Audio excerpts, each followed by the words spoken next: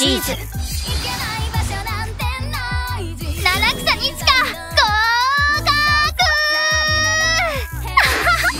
チーズに。乾持ってない武器なんか最初から。誰が見てくれるんですか？私のことなんか。道で立ってるだけじゃ。ただの人混みなんですよ私。もうラッキーの時間は終わりですよね。みことさんが飛べるように。みことさんの隣に置いてもらえるように。開けたみことよろしくね。私アイドルになりたいの。死ぬほど。筋肉細胞私を作るもの。